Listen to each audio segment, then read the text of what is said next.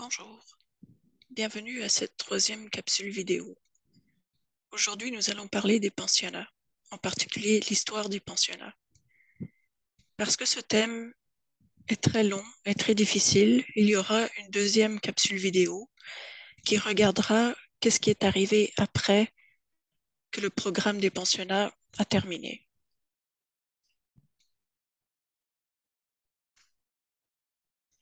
Peut-être que vous avez déjà vu cette photo circuler dans les nouvelles. Il s'agit d'une pancarte publicitaire qui avait été utilisée en 1874 pour faire la promotion des pensionnats. Il s'agit d'un étudiant, Thomas Moore, avant et après son entrée au pensionnat indien de Regina en Saskatchewan. Le motto des pensionnats, c'était Tuer l'Indien dans l'enfant.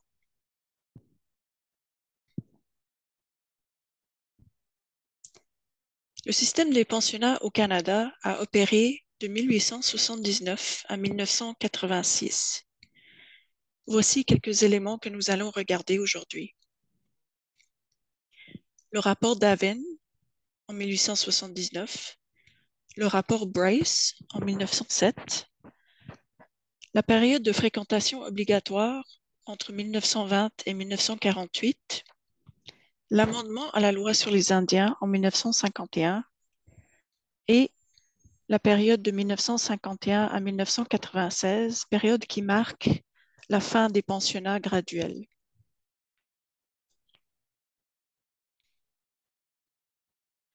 Après la Confédération, en 1867, le premier ministre Sir John A. Macdonald a chargé Nicholas Flood Davin de rédiger un rapport sur les écoles industrielles pour les Indiens et les Métis, maintenant connu sous le nom de rapport d'Aven. L'étude devait rendre compte du fonctionnement des écoles industrielles aux États-Unis et de l'opportunité de créer des institutions similaires dans les territoires du nord-ouest du, Dominion. Daven est allé aux États-Unis et a visité des internats indiens chez les Cheyenne, Arapaho et White Earth au Minnesota, ainsi qu'à Hampton en Virginie. Il a discuté avec les directeurs et le personnel des écoles créées dans le territoire indien pour fournir une éducation aux Cherokee, Chickasaw, Choctaw, Creek et Seminole qui avaient été réinstallés suite aux relocalisations forcées. Davin a été impressionné par la méthode de financement des écoles indiennes par laquelle, par laquelle le gouvernement a fourni un montant fixe par élève à l'Église qui gérait les écoles. Je cite, Partout où les missionnaires ont des écoles, le gouvernement devrait utiliser ces écoles si possible.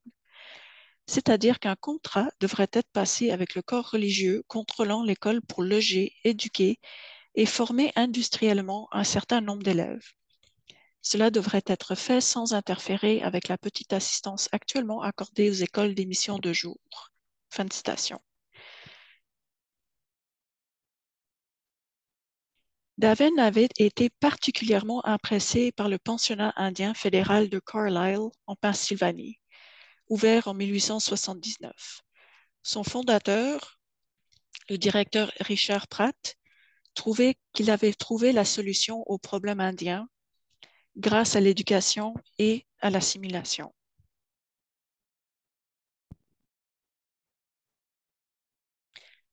Le rapport d'Aven a été soumis à Ottawa en mars 1879 et a conduit au financement public du système des pensionnats indiens au Canada. Parmi les recommandations de Daven, on y trouve le financement de quatre écoles dans l'Ouest, la première à Prince Albert, à être gérée par l'Église épiscopalienne. Une école à Old Beaufort qui sera exploitée par les méthodistes une autre à Capelle qui sera gérée par les catholiques romains, et la dernière à Riding Mountain à être gérée par l'Église presbytérienne. On y trouve aussi des recommandations spécifiques quant aux enseignants, à leur salaire, à l'enseignement obligatoire et à l'inspection des écoles. Aussi, la recommandation que les parents soient incités à envoyer leurs enfants à l'école avec des rations supplémentaires que les élèves qui ont fait preuve d'aptitude particulière ou d'une rapidité générale exceptionnelle devraient bénéficier d'avantages spéciaux. et que l'éducation indienne devrait être, devrait être utilisée comme moyen de forcer l'assimilation. En 1884, des modifications à la loi sur les Indiens de 1876 sont adoptées et prévoient la création des pensionnats indiens au Canada. Les pensionnats indiens du Canada étaient principalement financés et gérés par le gouvernement du Canada et les églises catholiques, anglicanes, méthodistes, presbytériennes et unies. À une moindre échelle, certains pensionnats indiens étaient financés par les gouvernements provinciaux ou par les divers ordres religieux. Cependant, à partir de 1907, l'inspecteur médical du gouvernement, P. H. Price, a signalé que 24% des enfants autochtones auparavant en bonne santé au Canada mouraient dans les pensionnats indiens suite à une nutrition inadéquate, des normes de santé inadéquates et une formation inadéquate du personnel. Il a évalué des pensionnats en Alberta, en Saskatchewan et au Manitoba. Plus particulièrement, Bryce a trouvé des taux de mortalité extrêmement élevés dus à la tuberculose dans les pensionnats. Ces découvertes étaient choquantes et son rapport a reçu une publicité à travers le pays. Notamment dans les journaux, comme vous pouvez voir ici, un exemple tiré du Daily Columnist daté du 16 novembre 1907, dans lequel il est indiqué que 25% des enfants envoyés au pensionnat soit décèdent ou sont affectés de maladies. Qu'est-ce qui, est, arrivé avec ce rapport? Est-ce qu'il a été écouté? La réponse est non. Bryce a mené une autre étude en 1909 et ce deuxième rapport a été distribué aux responsables médicaux, scolaires et religieux pour commentaire. En 1920, des modifications à la loi sur les Indiens obligent chaque enfant indien âgé de 7 à 16 ans à fréquenter un pensionnat indien. Bryce a continué de critiquer le département et a finalement été démis de ses fonctions. En 1922, après des années d'inaction et sans changement dans les taux de mortalité, il a publié The Story of a National Crime, an appeal for justice to the Indians of Canada. Ici, vous avez un exemple daté du 7 mars 1910, la, réponse essentiellement au rapport Bryce. Réponse émise par le département des Affaires indiennes, dans laquelle ils disent qu'essentiellement, on ne peut pas faire grand-chose, ni du point de vue gouvernemental, ni du point de vue des églises. Ensuite, il y a des recommandations, par exemple, de trouver euh, quel enfant est porteur de tuberculose et de l'isoler, d'améliorer la nutrition, etc.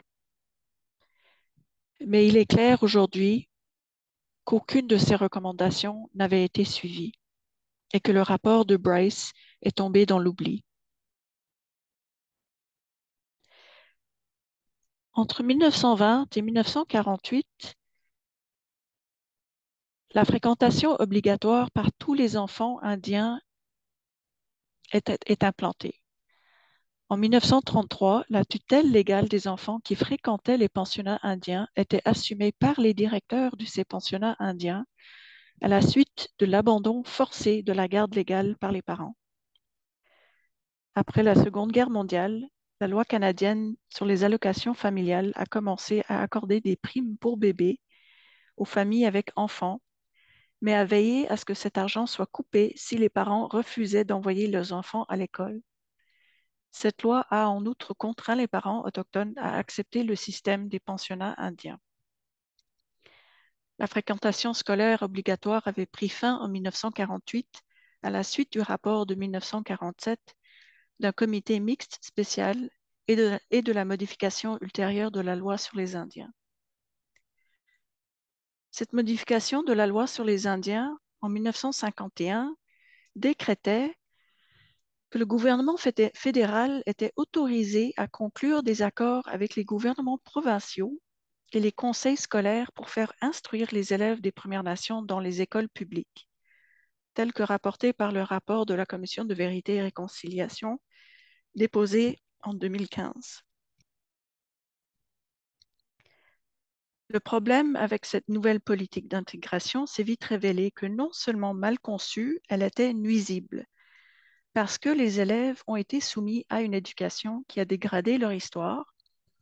Une enquête de 1968 a souligné que certains, certains manuels scolaires contenaient des mots racistes stéréotypés.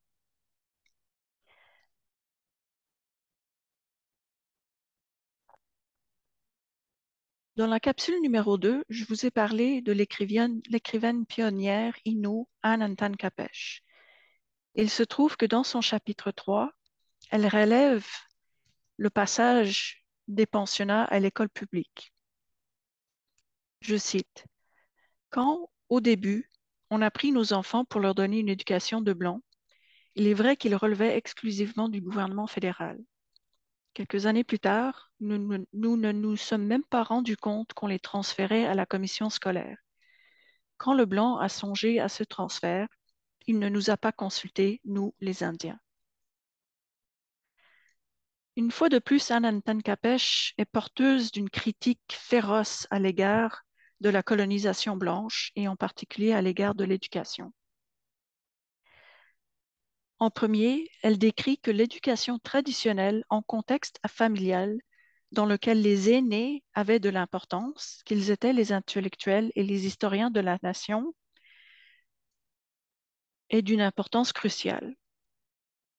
En comparaison, elle décrit l'impact de l'éducation blanche, qui cause une division entre les générations à cause d'une absence de langue commune et de repères en commun, l'éclatement de la famille, la séparation forcée, et elle en, fait, aussi un lien avec la sédentarisation.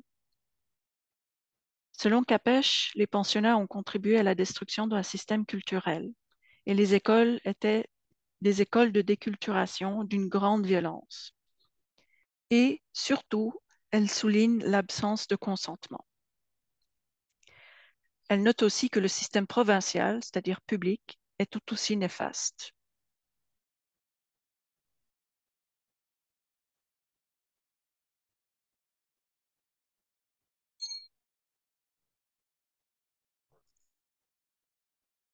On arrive à la troisième période marquante, c'est-à-dire la période vers la fin des pensionnats, période qui a duré de 1951 officiellement jusqu'en 1986, date à laquelle le programme a pris fin, mais le dernier pensionnat n'a fermé ses portes qu'en 1996.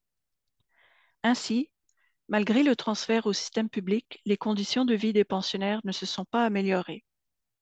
Jusqu'à la fin des années 50, les pensionnats indiens étaient gravement sous-financés et dépendaient souvent du travail forcé de leurs élèves pour entretenir leurs installations, bien que cela ait été présenté comme une formation à l'artisanat. En 1969, après des années de partage du pouvoir avec les églises, le ministère des Affaires indiennes a pris le contrôle exclusif du système des pensionnats indiens. Le gouvernement a décidé de supprimer progressivement les écoles mais cela s'est heurté à la résistance de l'Église catholique, qui estimait que la ségrégation était la meilleure approche pour les enfants autochtones. Au total, plus de 130 pensionnats indiens ont opéré au Canada entre 1831 et 1996. En 1931, il y avait 80 pensionnats en activité au Canada.